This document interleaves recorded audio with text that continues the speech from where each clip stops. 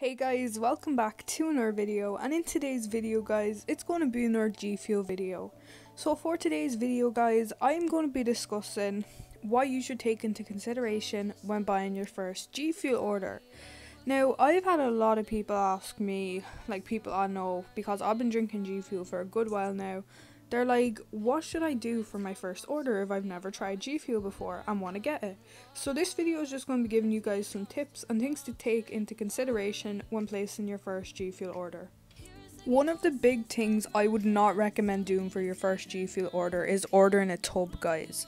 Because you're going to order a tub, which is costs a lot more than packets, and there's 40 servings in a tub, which is 40 drinks. So if you don't like that flavour of tub you picked out, that is going to be 40 drinks gone down the drain that you are not going to like.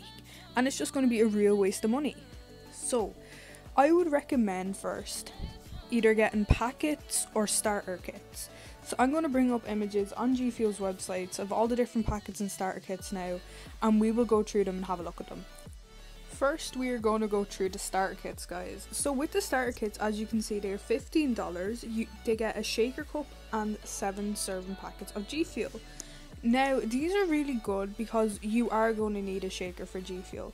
Now, you don't need one, you can use a regular water bottle, but in my opinion, getting a shaker, it doesn't even have to be a G Fuel shaker, just any shaker that goes up to 16 ounces or 500 milliliters will do perfectly.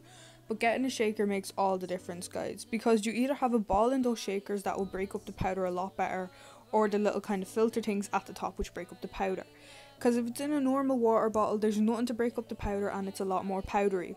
So that's why I, in my opinion, the starter kits are a lot better than just getting, say, packets or tubs. So we're going to have a look at what type of um, G Fuel package you get with the starter kits. I have clicked into the Winter White starter um, kit guys, so that is the Winter White shaker and the 7 packs of G Fuel.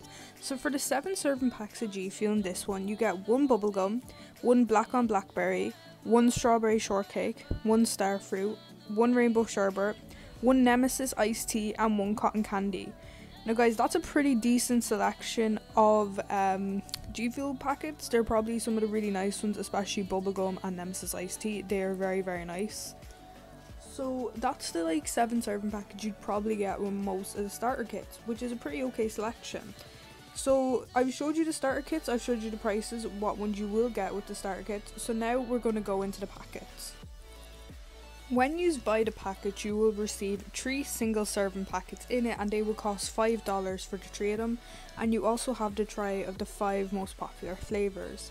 Now, at the moment, all the packets except Rainbow Sherbet are sold out. I'm assuming it's due to a backlog with COVID 19, but hopefully they will have all them back in stock very soon. But they will cost you $5, and then you also have the five most popular flavours. So we're going to hop into the five most popular flavours and see what they are, and I will give my recommendations on them. If you guys were to purchase the five most popular flavours, it would cost you $7, and you are going to receive one single serving packet of tropical rain, one grape, one twisted candy, one strawberry banana, which is KSI's flavour, and one green apple.